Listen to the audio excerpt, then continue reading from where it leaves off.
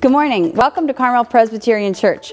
We're happy you decided to join us this morning, and we'd like to welcome Pastor Nate Tibbs from Shoreline Church. I hope that you'll take a chance to say hello to him today, as he is our guest speaker. The Blue Connect card. We love it here at Carmel Pres, and I hope that you like it as much as we do.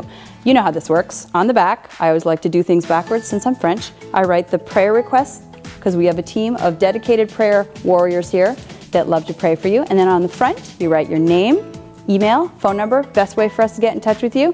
And when the offering plate comes by, that is where you put your very wonderful Blue Connect card. You may be wondering why I am having a unicorn in my pocket. Oh, you didn't notice the unicorn? Let me show it to you.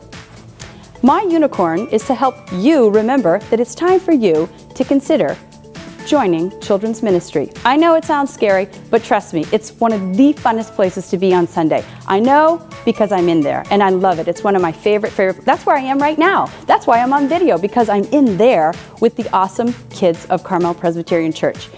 Contact Julie Dyerly, our children's ministry director, who's awesome and not scary, and you can work with me or Julie or one of our many children's volunteers. Think of it as just a fun way to work and serve at your church. I promise it's not hard. We give you curriculum, we give you warnings, we email you, and we'll train you.